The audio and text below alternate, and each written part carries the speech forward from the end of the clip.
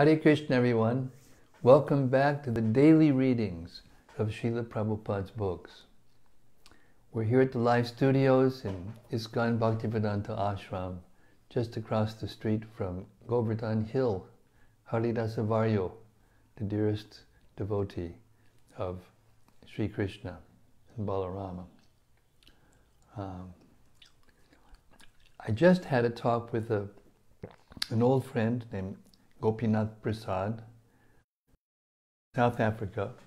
He's highly efficient and organized and professional when it comes to um, anything internet, anything that has to do with internet.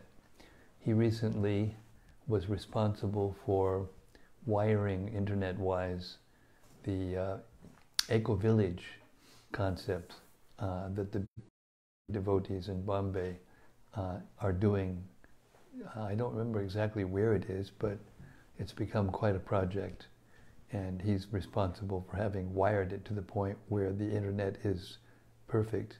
And in India, that's not easy to do, as you may have guessed already from the different times. The reception isn't perfect or the connection isn't perfect.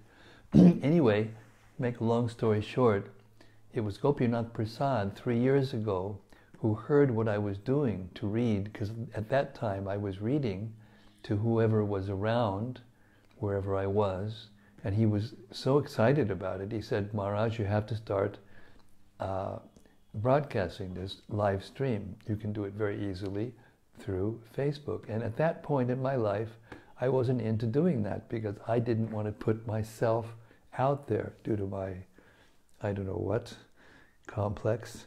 And, uh, but then when later the idea went in, but I didn't do anything about it until about, you know, now it's been about two years, between a year and a half and two years ago, when we started actually doing live stream. And now we have almost the whole Bhagavatam completed. And when Gopinath Prasad heard and saw and watched and listened, he was amazed. And he is he's in a transition. He's transitioning from to ashram, one ashram to another, and he's also transitioning in his profession. So, but he wants very much to help. So I'm putting this out there to all of you, our followers, because very soon, within the next month or two, we'll be in a position to build a team, to increase the the, the scope of it, the the viewer, the viewers, and so many things. Maybe bringing out it. We've already talked to some of you about bringing it out into into YouTube, which is more.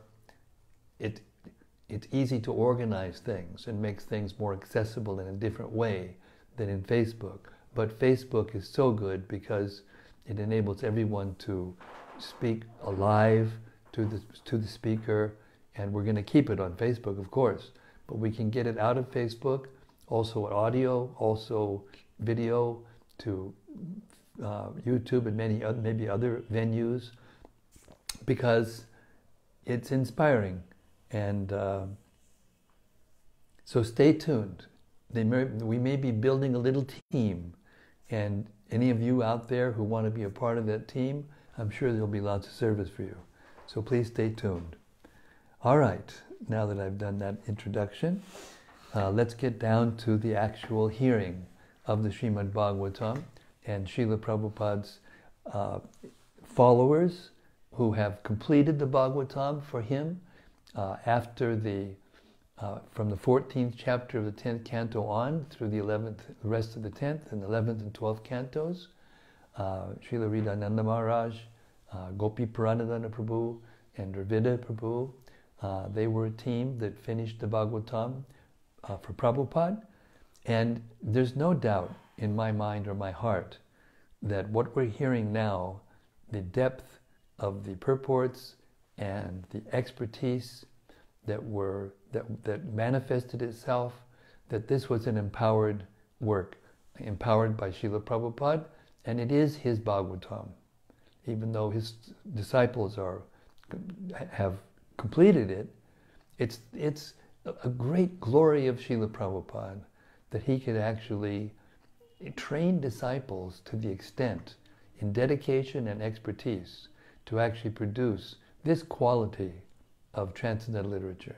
It's the greatest glorification of Prabhupada that I can imagine. So let us continue in this ecstasy. Uh, first, we're going to hear, as we always do every day, Srila Sanatana Goswami's glorification of the Srimad Bhagavatam so that we can go deeper and deeper and deeper. And there's no limit to how deeper we can go. There's no limit to how uh, happy you can become. Uh, there's no satiation. The more you hear the Bhagavatam, the more you want to hear the Bhagavatam. And this is our life's uh, mission now, and it's my legacy service to Srila Prabhupada. Some people at the end of their lives do memoirs or write books. This is what I'm going to do. I'm 73 years old, and I don't know how long I'm going to live, but as long as I live, I'm going to continue to do this service and try to record as many of Srila Prabhupada's major works in this format, with this format, because it will be greatly helpful to keep Srila Prabhupada in the center of our movement and the empowered uh, literatures that he produced and inspired uh, will be there for generations to come. Srimad Bhagavata Mahima Stotram by Srila Sanatan Goswami. The most beautiful glorification of the Bhagavatam, at least I've ever heard. And it goes like this. Sarva Shastrabdi Yusha Sarva Vedaika Satpala Sarva Siddhanta Ratnaja Sarva Lokaika Drikprada O nectar from the ocean of all scriptures, singular fruit of all the Vedas, rich mine of the precious gems of all conclusive truths, you are the only giver of sight to all the worlds. Sarva Bhagavata Prana Srimad Bhagavata Prabho Kalidvandoditaditya Sri Krishna Parivartita. O life air of all the Supreme Lord's devotees, O Master Srimad Bhagavatam, you are the sun risen in the darkness of Kali. You are the exact image of Sri Krishna. Paramananda Pataya Prema Varshaksharayate Sadasavasevyaya Sri Krishnaya Namostume. I bow down to you who are supremely blissful to read. Your every syllable pours down a flood of prema. You can always be served by everyone. You are Sri Krishna himself. Ando matsangin madguro man mahadana manistadaga madbhagya mad mostute my only friend, my constant companion, my spiritual master, my great wealth, my savior, my good fortune, my source of ecstasy, I bow down to you. Asadu saduta dayin atinit chochatakada hanamunchagadachin mam prem narit antayos. O bestower of saintliness to the unsaintly, O exalter of the most fallen, please never leave me. Always appear in my heart and my voice with pure love. Om Namo Bhagavate Vasudevaya.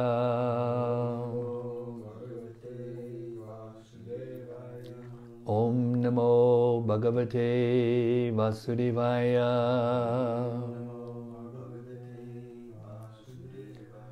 Om Namo Bhagavate Vasudevaya.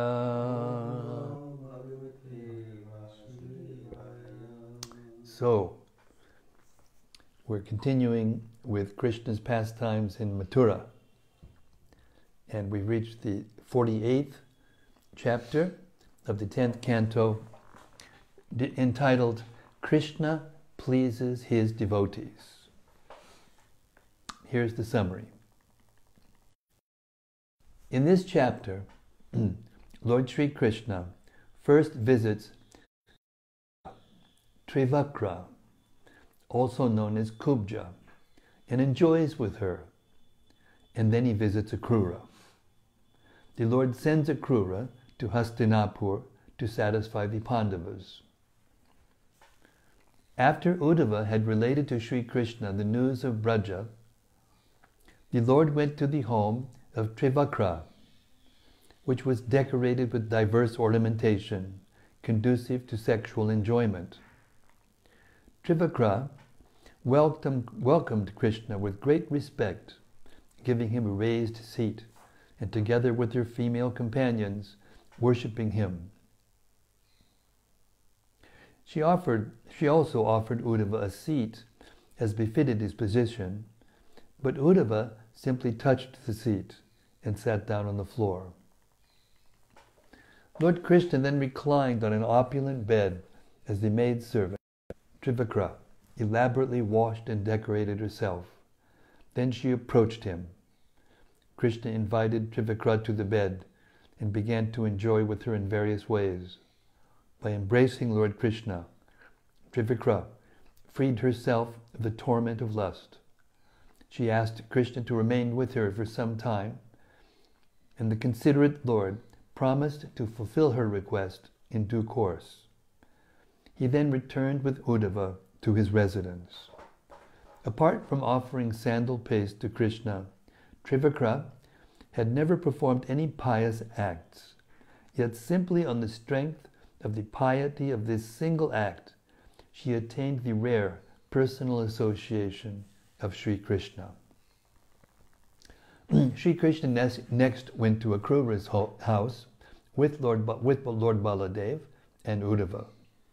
Akrura honored the three of them by bowing down and presenting them with suitable sitting places.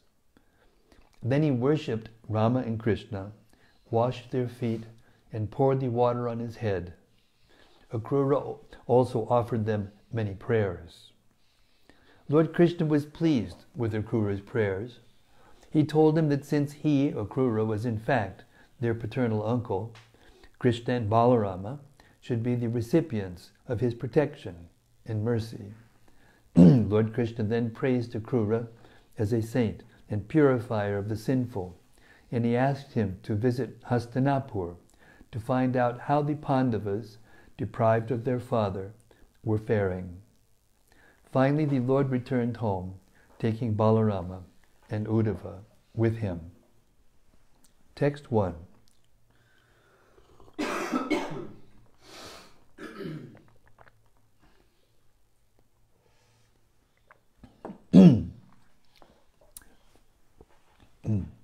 Shukadev Goswami said, Next, after assimilating Uddhava's report, Lord Krishna, the Supreme Personality of Godhead, the omniscient soul of all that be, desired to satisfy the serving girl Trivakra, who was troubled by lust. Thus he went to her house. Purport This text gives an inter- interesting insight into the Lord's pastimes. The first line says, Atabigyaya Bhagavan. Thus the Lord, understanding Uddhava's report. The second line states that Lord Krishna is the soul of everything, Sarvatma, and the seer of everything, Sarvadarshana. In other words, although he certainly does not on spoken reports from messengers, he plays the part of a human being and listens to news from not out of need, as we would do, but in the bliss of his spiritual pastimes, exchanging love with his pure devotee. The word sarvadarshana also indicates that the Lord perfectly understood the feelings of the residents of Braja and was perfectly reciprocating with them within their hearts. Now, in his external he desired to bless Srimati Trivakra, who was about to be freed from the disease of material lust. Text 2. Trivakra's home was opulently appointed with expensive furnishings and, re- and replete with sensual accru- accoutrements. With Trivakra's home opulently appointed with expensive furnishings and replete, replete with sensual accoutrements meant to inspire sexual desire. There were banners, rows of strung pearls, canopies, fine beds, and sitting places, and also fragrant incense, oil lamps, flower garlands, and aromatic sandalwood paste.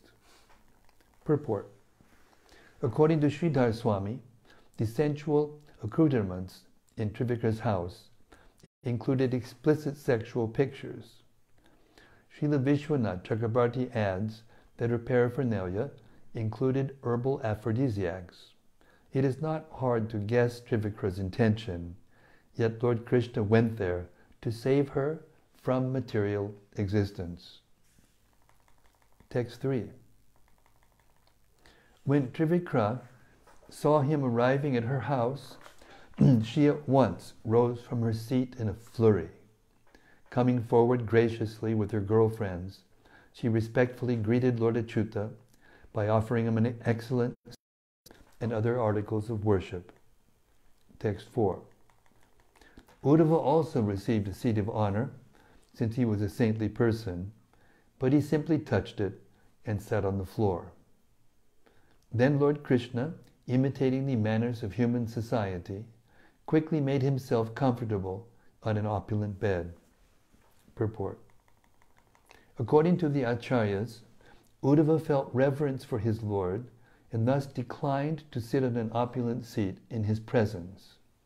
Rather, he touched the seat with his hand and sat on the floor.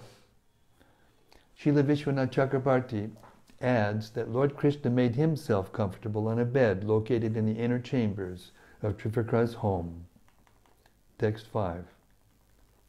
Trivikra prepared herself by bathing, anointing her body, and dressing in fine garments, by putting on jewelry, garlands, and perfume, and also by chewing betel nut, drinking fragrant liquor, and so on. She then approached Lord Madhava with shy, playful smiles and coquettish glances. Purport It is clear from this verse that the ways a woman prepares for sexual enjoyment have not changed in thousands of years. Text 6. Calling forward his beloved, who was anxious and shy at the prospect of this new contact, the Lord pulled her by the bangled hands under the bed. Thus he enjoyed with that beautiful girl, whose only trace of piety was her having anointed, offered anointment to the Lord. I have to read that again. Thus he enjoyed with that beautiful girl, whose only trace of piety was her having offered ointment to the Lord. Purport. Srila Vishwanath Chakrabarti explains that the words Nava Sangama Riya indicate that Trivikra was in fact a virgin girl at this point. She had been a deformed hunchback, and the Lord had recently transformed her into a beautiful girl. Therefore, although clearly lusting after Sri Krishna, she was naturally shy and anxious. Text 7. Simply by smelling the fragrance of Krishna's lotus feet, Trivikra cleansed away the burning lust Cupid had aroused in her breast, chest, and eyes. With the two arms, she embraced between her breasts her lover, Sri Krishna, the personification of bliss, and thus she gave up her long-standing distress. Text 8. Having thus gotten the hard-to-get Supreme Lord by the simple act of offering him body, body ointment, unfortunate Trivikra submitted to that Lord of freedom but the following request.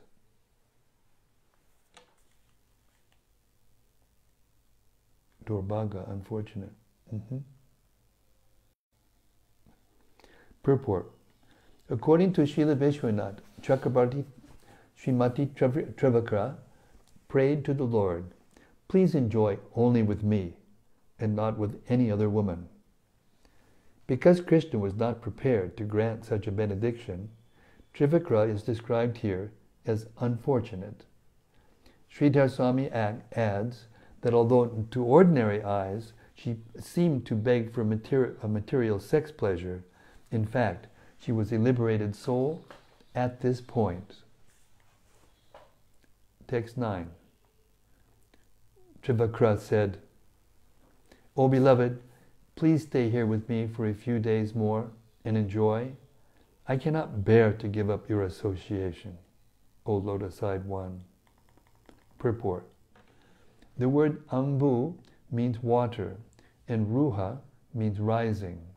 Thus, amburuha means the lotus flower which rises up from the water. Lord Krishna is called Amburuhekshana, the lotus-eyed one. He is the source and embodiment of all beauty, and naturally, Trivakra was attracted to him. However, the Lord's beauty is spiritual and pure, and his intention was not to gratify himself with Trivakra, but rather to bring her to the point of pure spiritual existence, Krishna consciousness. Text 10. Promising her the fulfillment of this lusty desire, considerate Krishna, Lord of all beings, paid Trivakra his respects, and then returned with Uddhava to his own supremely opulent residence. Purport. All the acharyas agree that the words kama varam tatva indicate that Lord Krishna promised Trivakra he would full, fulfill her lusty desires. Text 11. Lord Vishnu, the Supreme Lord of all lords, is ordinarily difficult to approach. One who has properly worshipped him and then chooses the benediction of mundane sense gratification of poor intelligence, for he is satisfied with an insignificant result. Purport. It is clear from the commentaries of the Acharyas that the story of Trivakra is to be understood on two levels. On the one hand, she is understood to be a liberated directly associating with the Lord and participating in his pastimes. On the other hand, her conduct is clearly meant to teach a lesson about what not to do in relation with Lord Krishna. Since all of the Lord's pastimes are not only blissful, but also didactic, there is no real contradiction in this pastime, since Trivakra's purity and her bad example take place at distinct levels. Arjuna is also considered a pure devotee, yet by initially disobeying Krishna's instruction to fight, he also showed an example of what not to do.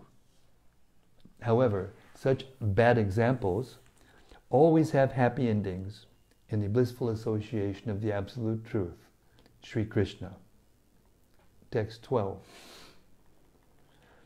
Then Lord Krishna, wanting to have some things, then Lord Krishna, wanting to have some things done, went to Akrura's house with Balaram and Uddhava. The Lord also desired to please Akrura. Purport. The previous incident of Lord Krishna's visit to Trivikra's house and now his visit to Akrura's gives a fascinating glimpse into the daily activities of Sri Krishna in Mathura city.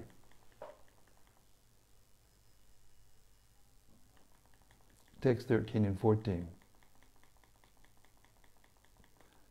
Akrura stood up in great joy when he saw them his own relatives, and the greatest of exalted personalities coming from a distance. After embracing them and greeting them, Akrura bowed down to Krishna and Balarama and was greeted by them in return. Then, when his, when his guests had taken their seats, he worshipped them in accordance with scriptural rules. Purport Srila Jiva Goswami points out that Lord Sri Krishna and the others approached Akrura in a friendly attitude. At first, Akrura re- reciprocated that friendly mood, and then, in the course of showing them hospitality, he adopted his natural devotional attitude toward the Lord and thus offered his obeisances to Sri Krishna and Sri Balaram. Text 15 and 16.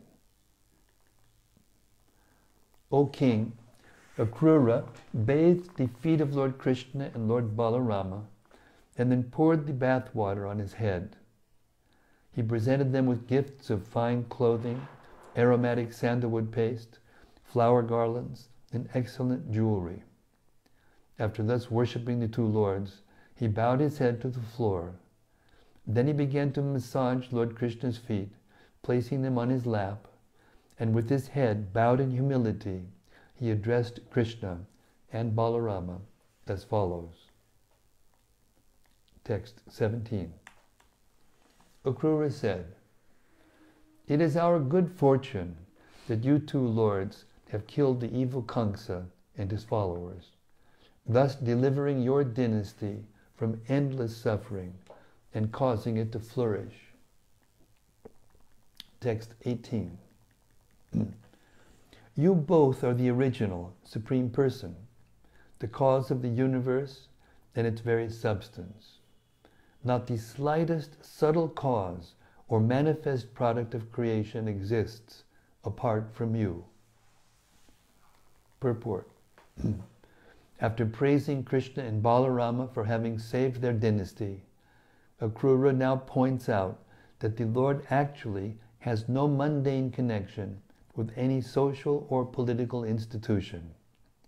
He is the original personality of Godhead, performing his pastimes for the benefit of the entire universe.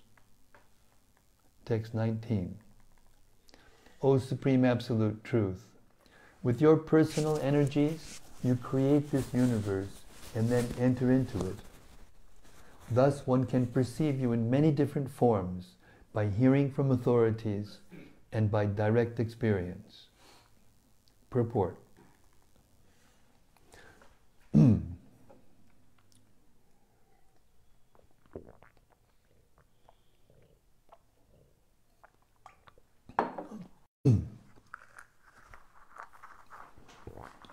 the, the grammatical agreement of Shruta Pratyaksha Gocharam in the neuter gender with Atma Shrishtam Idam Bishwam indicates that the Supreme Lord, by entering his creation with his potencies, makes himself perceivable within the universe. Throughout the Bhagavatam and other authorized Vedic literatures, often find descriptions of the Lord's simultaneous supremacy over all other things and his identity with them. We cannot reasonably draw any other conclusion from the Vedic literature than the one powerfully preached by Sri Chaitanya Mahaprabhu, Achintya Bheda Bheda Tattva. That is, the absolute truth is greater than and distinct from everything, since he is the omnipotent creator and controller of all, and simultaneously one with everything, since all that exists is the expansion of his own power. Throughout these chapters of Srimad Bhagavatam, we also observe one of the unique, extraordinary features of this great work. Whether Krishna is sending his message to the gopis or accepting the prayers of Akrura, there is a constant philosophical discussion. Throughout the Bhagavatam, the steady combination of fascinating pastimes with persistent spiritual philosophy is an extraordinary feature. We are allowed to glimpse and even to relish the spiritual emotions of the Lord and his liberated associates, and yet we are constantly reminded of their ontological position, lest we lapse into a cheap, anthropomorphic vision. Thus, it is entirely in character with the work that Akrura, in his ecstasy, glorifies the Lord with precise philosophical prayers.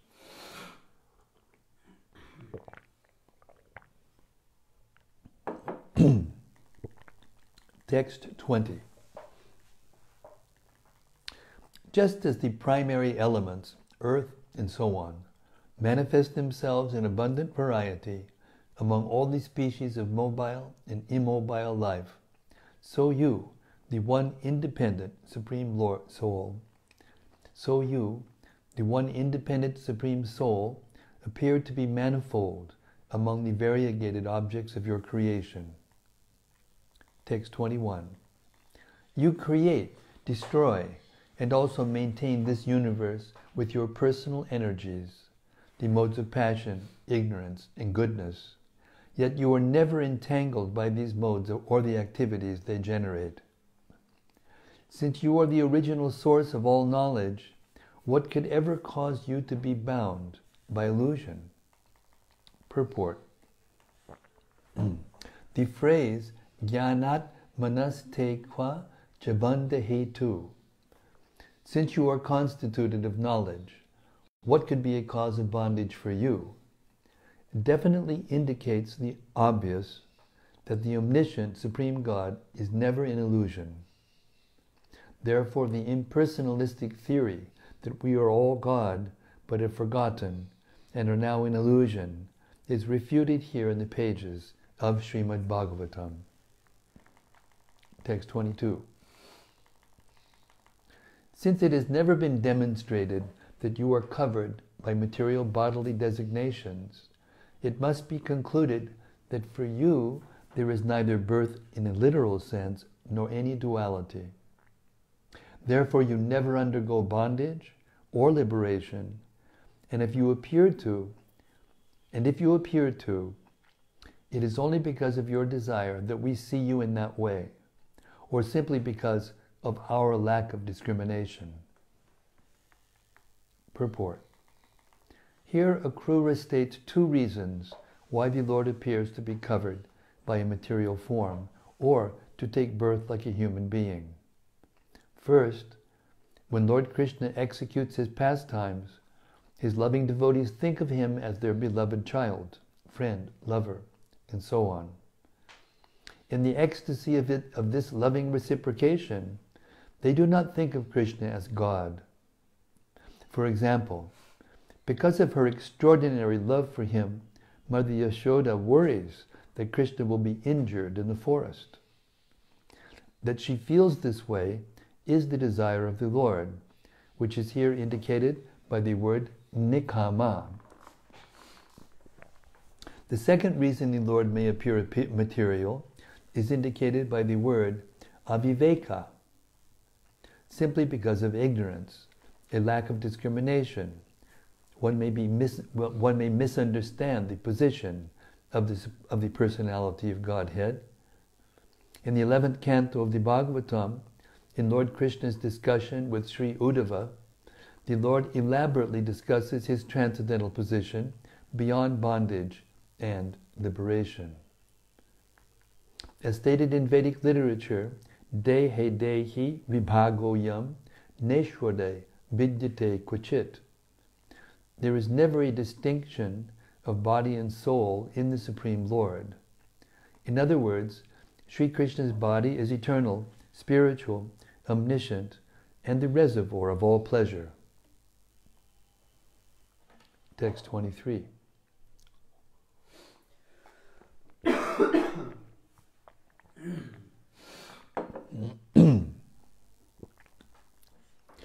You originally enunciated the ancient religious path of the Vedas for the benefit of the whole universe. Whenever that path becomes obstructed by wicked persons following the path of atheism, you assume one of your incarnations, which are all in the transcendental mode of goodness. 24. You are that very same Supreme Person, my Lord, and you have now appeared in the home of Vasudeva with your plenary portion. You have done this to relieve the earth's burden of killing hundreds of armies led by kings who were expansions of the demigod's enemies, and also to spread the fame of our dynasty. Purport The term Suritarangsha Ragyam indicates that the demoniac kings slain by Krishna were in fact expansions or incarnations of the enemies of the demigods. This fact is elaborately explained in the Mahabharata, which reveals the specific identities of the demoniac kings. Text 25. Today, O Lord, my home has become most fortunate because you have entered it. As the supreme truth, you embody the forefathers, ordinary creatures, human beings, and demigods, and the water that has washed your feet purifies the three worlds. Indeed, O Transcendent One, you are the spiritual master of the universe. Purport. Srila Sridhar Swami has nicely interpreted Akrura's feelings as follows. Akrura said, My Lord, although I am a householder, today my home has become more pious than the forests where sages perform austerities. Why? Simply because you have entered my home. Indeed, you are the personification of the deities who preside over the five sacrifices a householder must perform daily to atone for unavoidable violence committed to living beings in the home. You are the spiritual truth behind all these creations, and now you have entered my home. The five daily sacrifices enjoined for a householder are 1. Sacrifice to Brahman by studying the Vedas. 2. Sacrifice to the forefathers by making offerings to them. 3. Sacrifice to all creatures by putting aside a portion of one's meals. 4. Sacrifice to human beings by extending hospitality. And 5 sacrifice to the demigods by performing fire sacrifices, and so on. Text 26. That may be the only place where those five are mentioned explicitly, isn't it? You've heard, you, we hear about uh, this lot about the five, uh, you know, what's the word? Sacrifices that are obligatory for the householders. Now we've heard of these, these are the five. I'll repeat them again just so, that, so they'll sink in. The five daily sacrifices enjoined for a householder are 1. Sacrifice to Brahman by studying the Vedas. 2. Sacrifice to the forefathers by making offerings to them. 3. Sacrifice to all creatures by putting aside a portion of one's meals. 4. Sacrifice to human beings by extending hospitality. And 5. Sacrifice to the demigods by performing fire sacrifices, and so on. Text 26.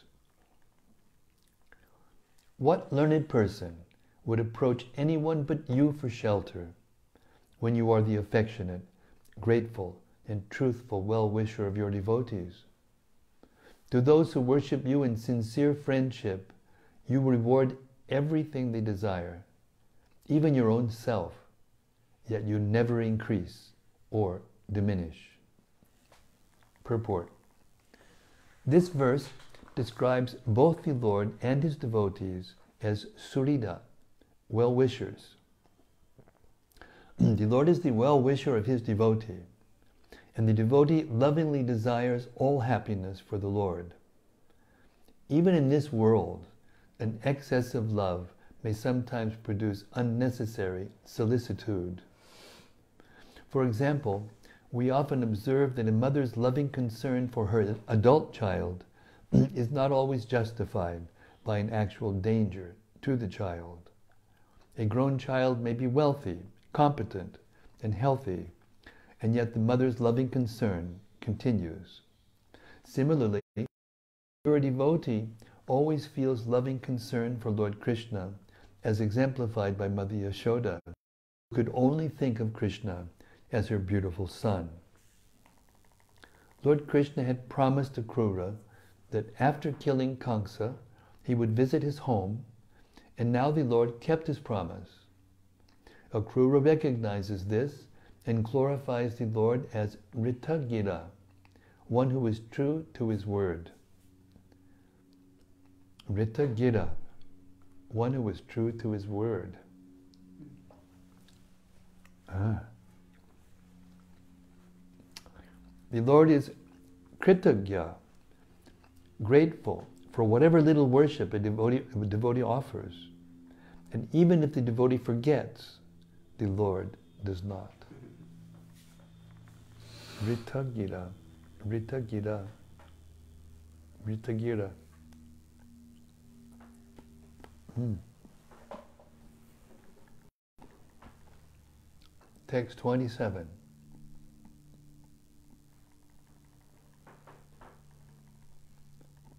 It is by our great fortune, Janardhan, that you are now visible to us. For even the masters of yoga and the foremost demigods can achieve this goal only with great difficulty. Please quickly cut the ropes of our illusory attachment for children, wife, wealth, influential friends, home, and body. All such attachment is simply the effect of your illusory material energy. Text 28. Shukadeva Goswami continued, Thus worshipped and fully glorified by his devotee, the Supreme Lord Hari smilingly addressed Akrura, completely charming him with his words. Text 29. The Supreme Lord said, You are our spiritual master, paternal uncle, and praiseworthy friend, and we are like your sons always dependent on your protection, sustenance, and compassion. 30. Exalted souls like you are the true objects of service and the most worshipable authorities for those who desire the highest good in life. Demigods are generally concerned with their own self interests, but saintly devotees never are. Purport Whereas demigods may award material benefit, saintly devotees of the Lord have the power to award the real perfection of life, Krishna consciousness. Thus, Lord Krishna reinforces the respectful mood he had adopted here, he has adopted here toward his uncle Akrura. Text 31. No one can deny that there are holy places with sacred rivers, or that the demigods appear in deity forms made of earth and stone. But these purify the soul only after a long time, whereas saintly persons purify just by being seen.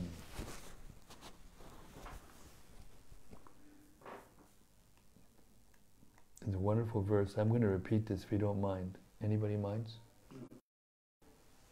This is a very important verse.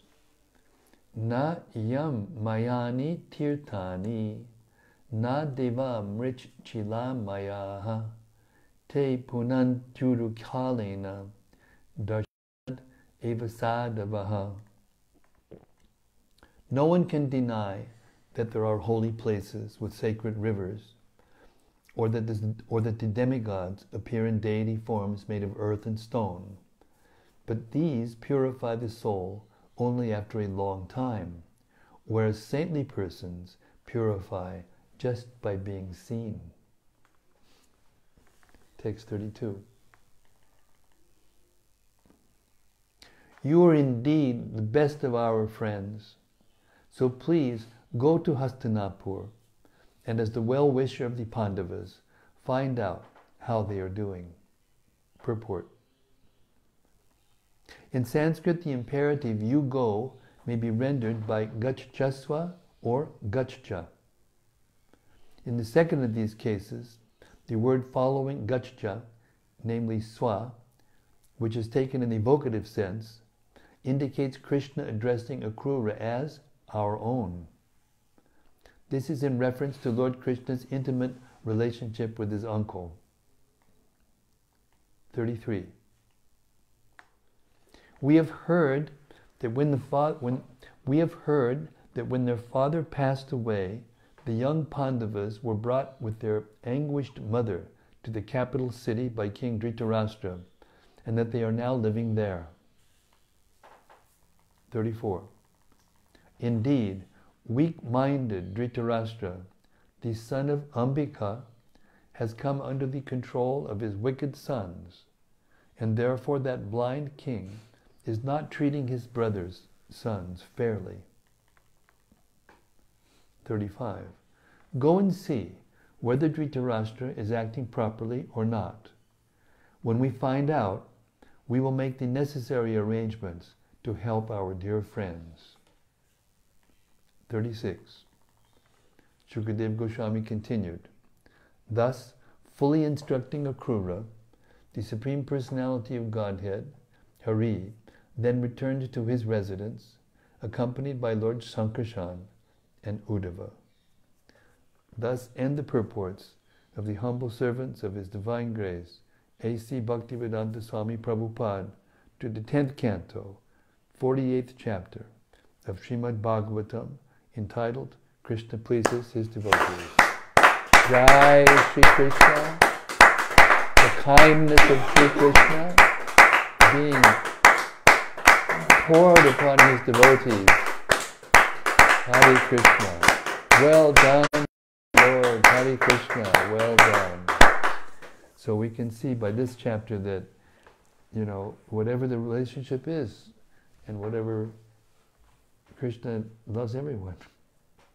And he expresses that love in different ways, but with the same level of intensity and affection Okay, now we're at 10 till 4, 10 till 5.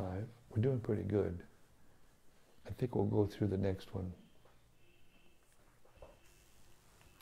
Okay, moving right along to, to chapter 49. Akrura's mission in Hastinapur.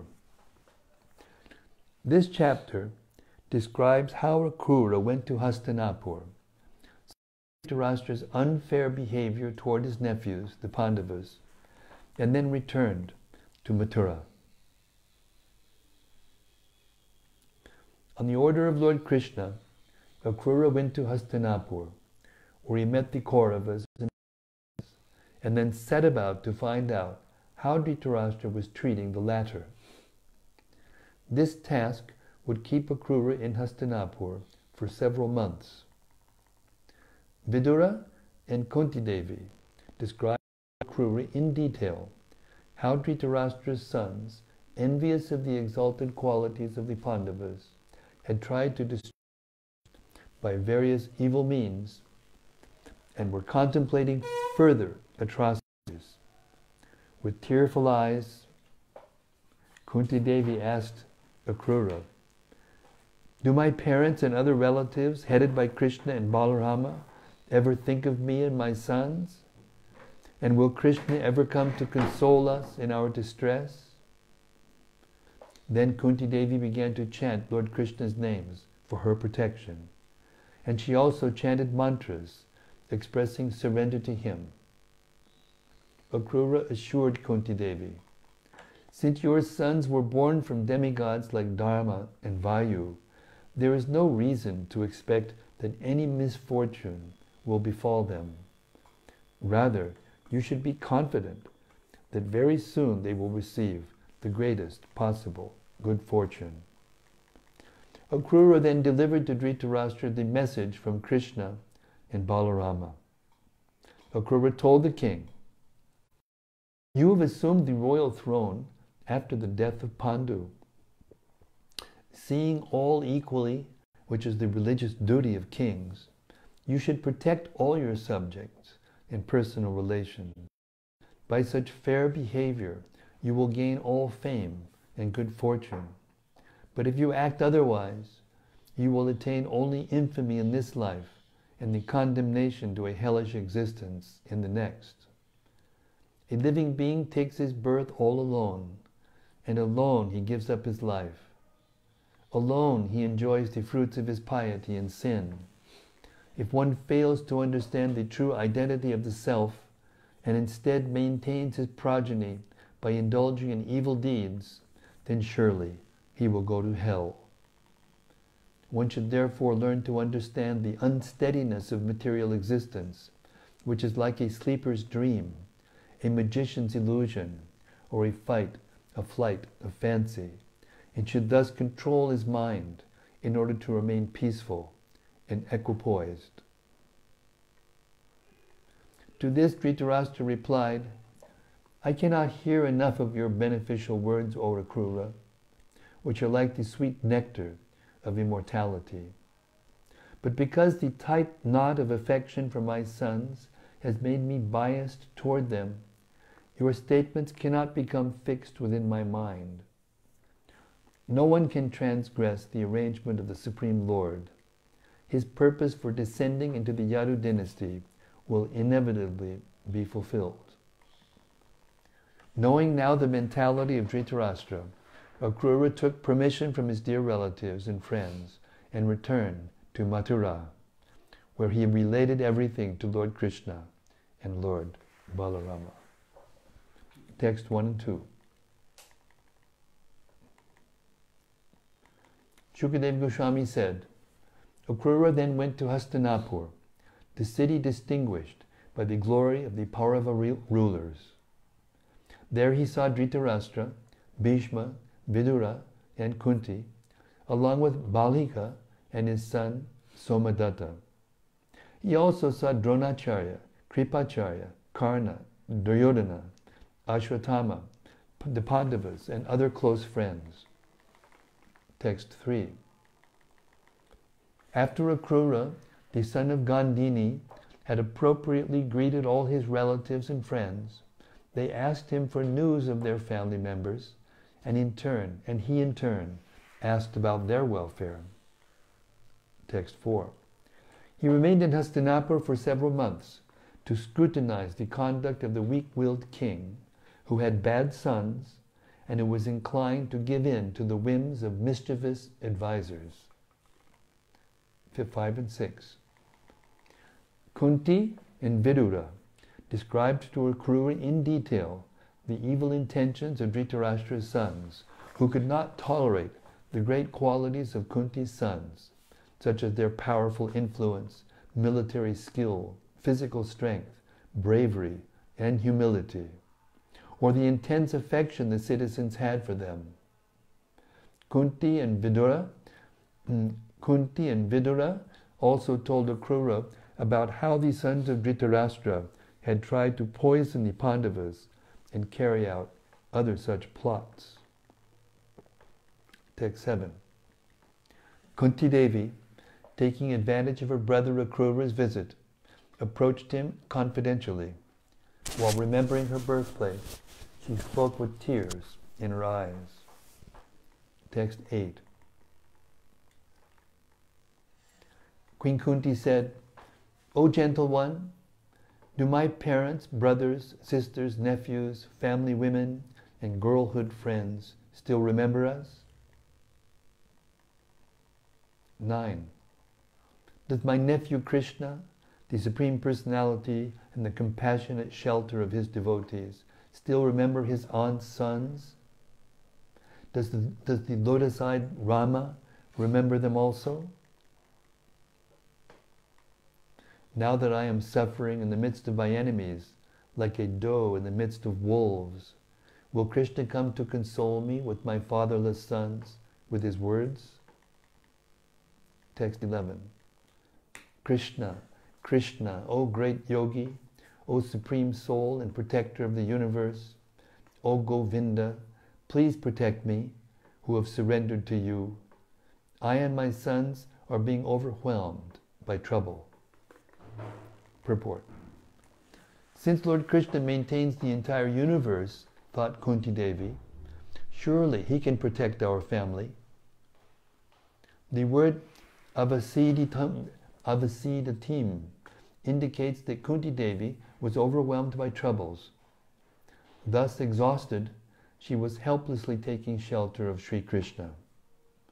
In her prayers in the fifth canto of the Srimad Bhagavatam, Kunti admits that all these troubles were actually a blessing, for they forced her to always be intensely Krishna conscious.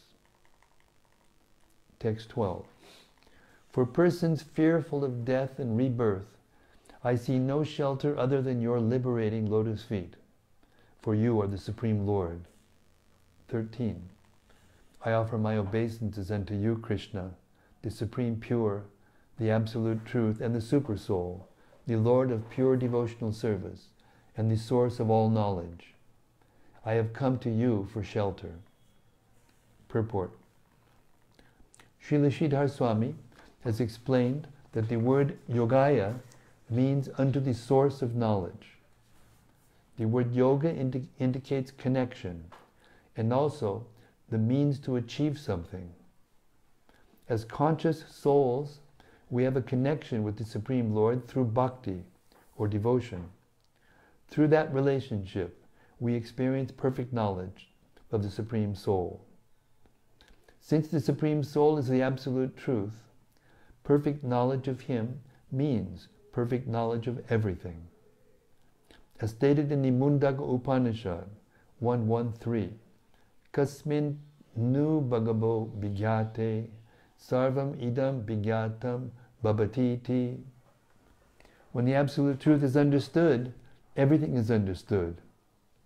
Thus, Lord Krishna Himself, by His spiritual potency, establishes our connection with Him, and that connection is the source of all spiritual knowledge. Thus, Acharya Sridhar, by his thoughtful explanation, stimulates us to deeper understanding of Krishna conscious philosophy. Jai, Sridhar Swami ki Jai. Text 14. Shukadev Goswami said, thus meditating on her family members and also on Krishna, the Lord of the universe, your great grandmother Kunti Devi began to cry out in grief, O King. Text 15. Both the Krura, who shared Queen Kunti's distress and happiness, and the illustrious Vidura, consoled the queen by reminding her of her extraordinary way of the both both Krura, who shared Queen Kunti's distress and happiness, and the, illust- and the illustrious Vidura, consoled the queen by reminding her of the extraordinary way her sons had taken birth. Purport Akrura and Vidura reminded Queen Kunti that her sons were born of heavenly gods and thus could not be vanquished like ordinary mortals. In fact, an extraordinary victory awaited this most pious family. 16. The ardent affection King Dhritarashtra felt for his sons had made him act unjustly toward the Pandavas. Just before leaving, Akrura approached the king, who was seated among his friends and supporters, and related to him the message of his relatives, Lord Krishna and Lord Balarama, had sent out of friendship. Text 17. Akrura said, My dear son of Vichitravirya, O enhancer of the Kurus, O enhancer of the Kuru's glory, your Pandu having passed away, you have now assumed the royal throne. Purport. Akrura was speaking ironically, since the young sons of Pandu should actually have been occupying the throne. Upon the death of Pandu, they were too young to immediately govern and so were put into Dhritarashtra's care. But now sufficient time had passed and their legitimate rights should have been recognized. Text 18. By religiously protecting the earth, delighting your subjects with your noble character, and treating all your relatives equally, all your relatives equally, you will surely achieve success and glory. Purport. Akrura told Dhritarashtra that even though he had usurped the throne, if he now ruled according to the principles of Dharma and behaved properly, he could be successful. Text 19. If you act otherwise, however, people will condemn you in this world, and in the next you will enter the darkness of hell. Remain equally disposed, therefore, toward Pandu's sons and your own. Purport. Dhritarashtra's whole problem was his excessive attachment to his nasty sons. That was the fatal flaw that caused his downfall. There was no lack of good advice from all sides, and Dhritarashtra even admitted that the advice was sound, but he could not follow it. One can have clear, practical intelligence when the mind and heart are pure. Text 20. In this world, no one has any permanent relationship with anyone else, O king. We cannot stay forever, even with our own body. What to speak of our wife, children, and the rest? 21. Every creature is born alone and dies alone. And alone one experiences the just rewards of his good and evil deeds. Purport. The term anubhunkte is significant here. Bhunkte means the living being.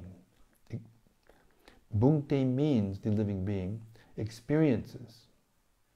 And anu means following or in sequence. In other words, we experience happiness and distress according to the moral and spiritual quality of our activities. We are responsible for what we do. Dhritarashtra was falsely and obsessively attached to his evil minded sons, forgetting that he alone would have to suffer alone for its impudent behavior. Text 22. In the guise of dear dependents, strangers steal the sin. In the guise of dear dependents, strangers steal the sinfully acquired wealth of a foolish man, just as the offspring of a fish drink up the water that sustains the fish. Purport. Ordinary people, they cannot live without their wealth, although their possession of it is circumstantial and temporary. Just as wealth gives life to an ordinary man, water gives life to a fish. One's dear dependents, however, steal one's wealth, just as a fish's offspring drink up the water sustaining the fish. In the words of Srila Bhaktivinoda Thakur, this world is a weird abode.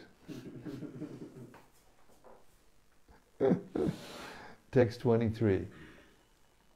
A fool indulges in sin to maintain his life, wealth, and children, and other relatives, for he thinks, these things are mine. In the end, however, these very things all abandon him, leaving him frustrated. Purport. In these verses, Akrura is giving rather frank advice to Dhritarashtra. Those who know the story of the Mahabharata will realize how relevant and prophetic these instructions are, and how much Dhritarashtra suffered for not accepting them. Although one tenaciously clings to his property, in the end all is lost, and the blundering soul is swept away by the wheel of birth and death. Text 24. Abandoning his so called dependence, ignorant of the actual goal of life, indifferent to his real duty, and having failed to fulfill his purposes, the foolish soul enters the blindness of hell, taking his sinful reactions with him. Purport. It is sadly ironic that materialistic persons who labor so assiduously, assiduously to accumulate insurance, I'll read that again. It is sadly ironic that materialistic persons who labor so assiduously to accumulate insurance, security, property, and family enter the darkness of hell equipped with nothing but the painful reactions of their sins. On the other hand, those who cultivate Krishna consciousness, spiritual life, while apparently neglecting to accumulate property, a large family, and so on, enter the next life enriched with many spiritual assets and thus enjoy the deep pleasures of the soul. What a nice purport. Wow.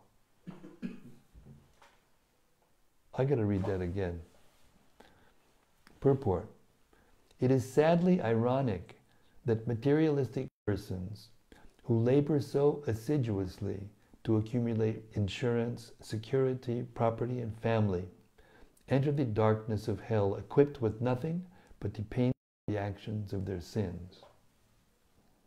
On the other hand, those who cultivate Krishna consciousness, spiritual life, while apparently neglecting to accumulate property, a large family, and so on, enter the next life enriched with many assets and thus enjoy the deep pleasures of the soul. 25. Therefore, O King, looking upon this world as a dream, a magician's illusion, or a flight of fancy, please control your mind with intelligence and become equipoised and peaceful, my Lord. Text 26. Dhritarashtra said, O Master of Charity, I can never be satiated while hearing your auspicious words.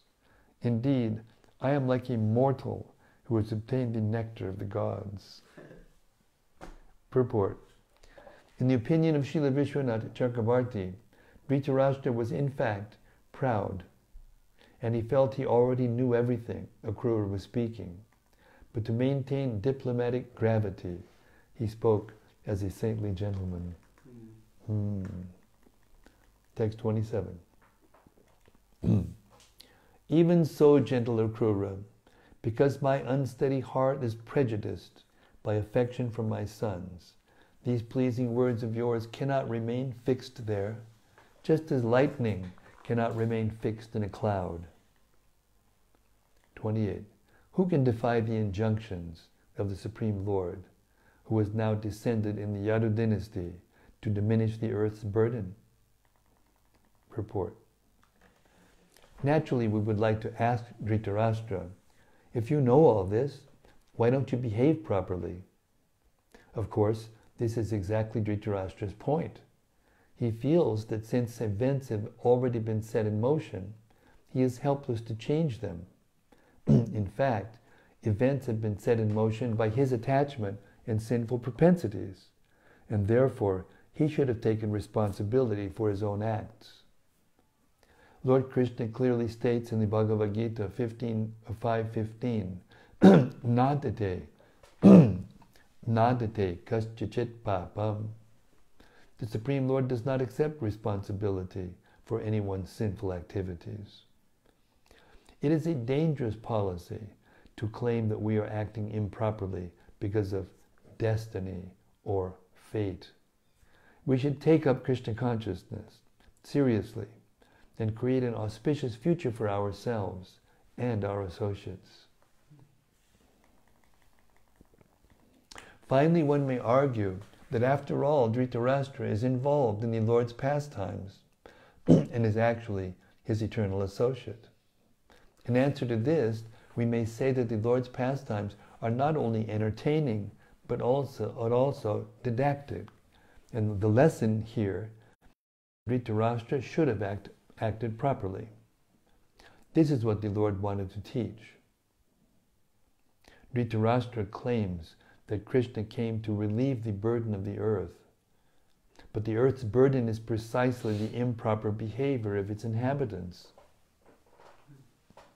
So let us take the lesson the Lord wants to teach here and be instructed for our benefit. 29. I offer my obeisances to Him, the Supreme Personality of Godhead, who creates this universe by the inconceivable activity of His material energy, and then distributes the various modes of nature by entering within the creation. From Him, the meaning of whose pastimes is unfathomable. Unfathomable.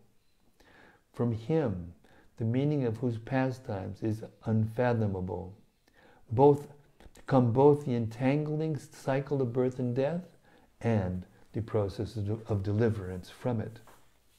Purport. When all is said and done, Dhritarashtra was not an ordinary person, but an associate of the Supreme Lord Krishna. Certainly an ordinary person could not offer such a learned hymn to the Lord. 30.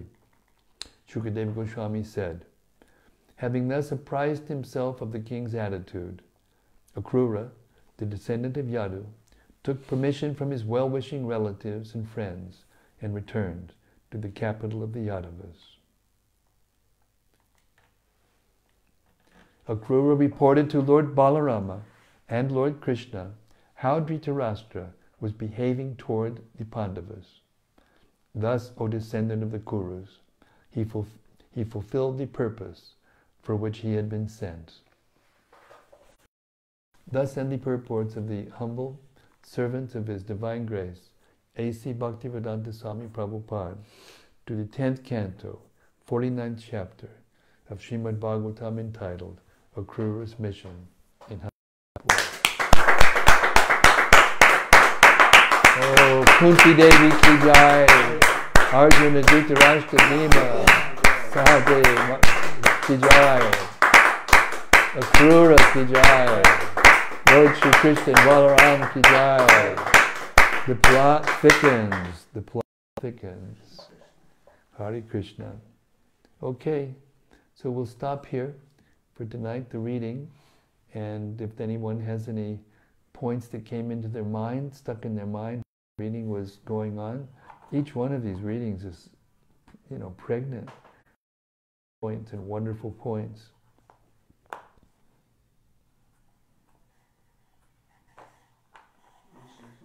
Yes, we're going to start. Pranata Gruna is going to start us off. Thank you.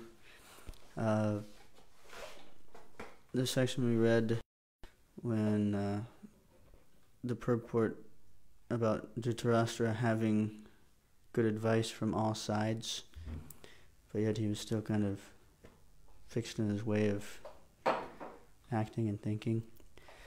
It reminded me of in the Bhagavad Gita, um, Duryodhana, despite so many signs that they're destined to lose the battle, he was still kind of disregarding that and just pressing forward. And um, so I was thinking about this kind of. Um, you know way of thinking and kind of you know I, I can kind of see it in myself and um, just kind of reflecting on that a little bit. I don't know if you have any more insight or thoughts on that. well, I mean, this is a pretty basic point, you know, and uh,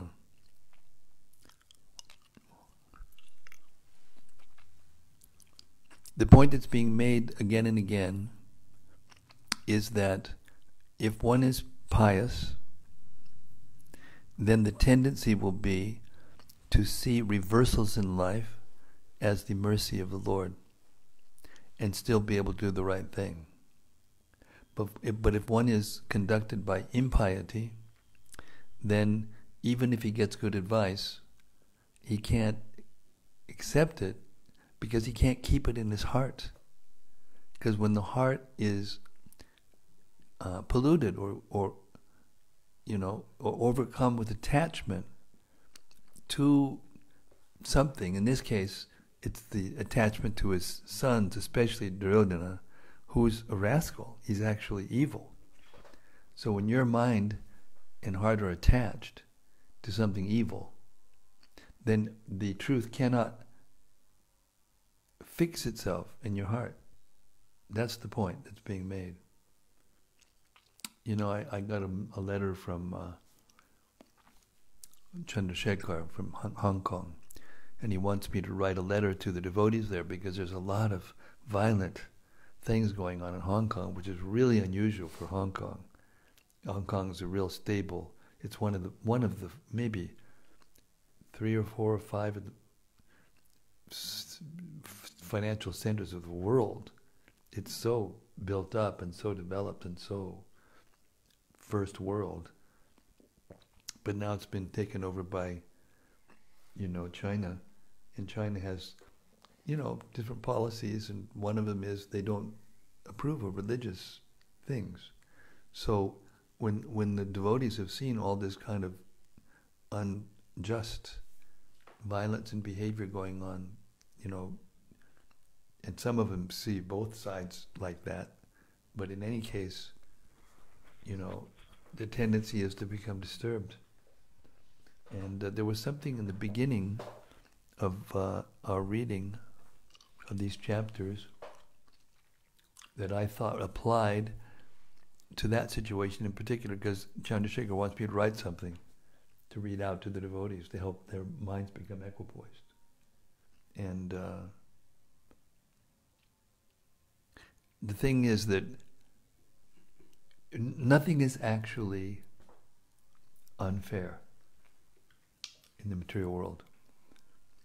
We think of things as being unfair because of our own attachments and our own relationship and our own um, philosophical bent of seeing things.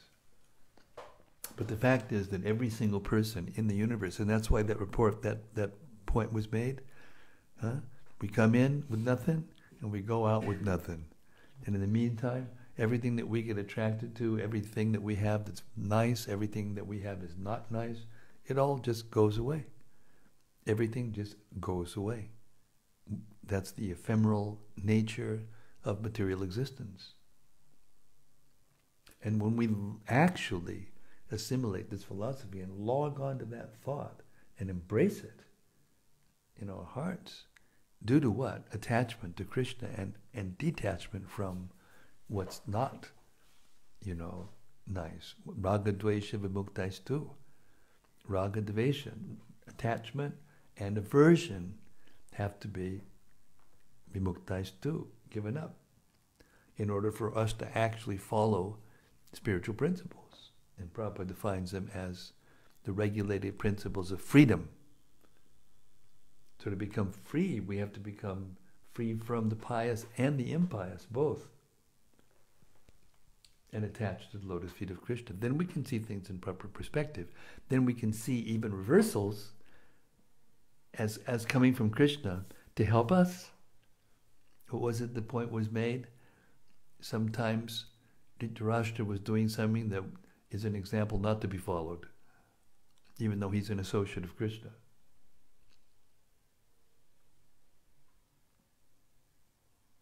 You know, what did Prahlad Maharaj do? What was his What was his fault? Chanting Hare Krishna, you know, glorifying Krishna, and yet his father wanted to kill him, seeming completely unfair and unjust and whatever. But then what happened?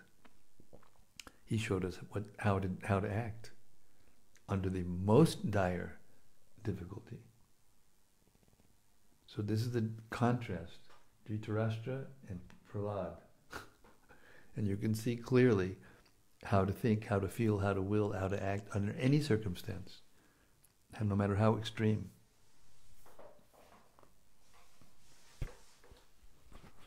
And then the truth will sink in and will be able to be embraced by our heart. It will become fixed. Whereas in Dhritarashtra's heart, it would just come in and he knew it was right, but it would just it would fall away. It didn't stick. It didn't stay with him because he was too attached to his evil son. What did Prabhupada say? That takes a little spiritual intelligence.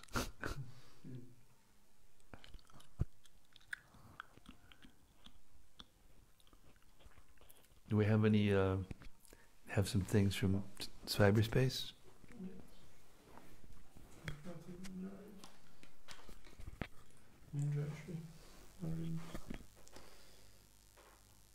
Okay, this is Rati Manjari. Says, Dear Guru Maharaj, please accept my respectful obeisances. Thank you for another very instructive reading, which is flowing over with meaning about how to be and how not to be. What I appreciate especially about these chapters are the various descriptions of the kindness of Sri Krishna and the beautiful names he is being called, such as the Lord of Freedom, and that even though we in that even though we forget whatever small service we may have accidentally rendered to him, the Lord remembers. Mm. It is so encouraging to learn more and more about the character of the Lord whom we are trying to serve. Thank you, Rati. That was wonderful. I have nothing more to say about that. That was very nice. Krishna never forgets. We forget, but he never forgets us.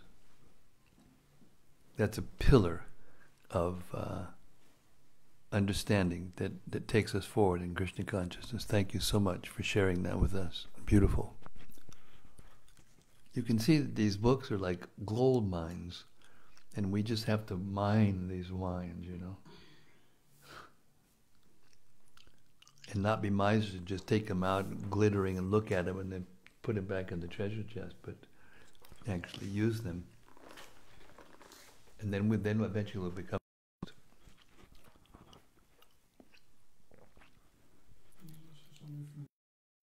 Jai Shri. Oh, this is Jai Shri. Just a reflection. We need to learn to attach to Krishna only and detach This from. This is from Jai Shri. Say it again. Hmm? This is from Jai Shri From Hong Kong. From Hong Kong. From Hong Kong. from Hong Kong. We need to learn to attach to Krishna only and detach from any other things in the material world. Your servant, Jai Shri. Yes. And I, I'm sure you were listening, but I got Jai Shri, but I got a letter from Chandrasekhar, and he wants me to write something to be read out to the devotees who are must be quite disturbed by recent events happening in Hong Kong and how to um, keep our equilibrium. So I will do that. I think he's having a meeting by the first of December, so I'll, I'll write something substantial. Yeah, yes, that's the secret, not to be attached. Because, you know, and not to think that we can renounce either, because nothing belongs to us. nothing belongs to us, and everything that is here is temporary and ephemeral. Okay, I'm going to stop here tonight. We're um, getting ready tomorrow, and then the next morning we're leaving Govardhan, sadly, uh, to Hastinapur. And we're following Akrura's footsteps. He got sent to Hastinapur, but we're not going to do any, you know, like polit- politi- politicking and reconnaissance, you know, adventures. We're just going to go there. And uh, that's day after tomorrow. So day after tomorrow, we'll change the time of our reading from 4 o'clock to 6 o'clock India Standard Time. That'll be Friday, Saturday, and Sunday. Okay, you can put that in your calendars. Friday, Saturday, and Sunday. Um, we will be reading at 6 o'clock. That's two hours later than we have been reading Indian Standard Time. And then the next day we fly out in the morning, and I don't think we'll be able to read, unfortunately, because the plane arrives at 3, and by the time we get out and get the bags and drive all the way to Folkestone, it'll be late. So we'll we'll skip that one day on the 25th, which is Monday. Monday. So the next day will be uh, reading again is Tuesday in Folkestone at 6 o'clock UK time. All right, that's our agenda for the next few days anyway. Thank you so much, everyone, for coming. I had a, as I already told you in the beginning of this reading, I had a wonderful discussion with um, um, Gopinath Prasad, disciple of uh, Bhurijan Prabhu, who's here, helping him in, with the techn- technological aspects of his uh, retreats. And he's very, very expert and he's extremely in, inspired by what we're doing and the, the product that we have already done, and he wants to help. So stay tuned for emails coming your way and being, you know, anybody who wants to help, you may be added to the thread, and we'll develop a team and spread this unique product that we've created by all of your mercy. Hare Krishna. Thank you very much. All glories to Kubja. All glories to Akrura. All glories to Uddhava. All glories to Krishna and Balaram. All glories to the Pandavas. And all of Krishna's wonderful adventures in his um, Leela and his earth. Shrimad Bhagavatam ki jai. Gaur Premanandi. See you tomorrow night, 4 o'clock. Same place, same station. Hare Krishna.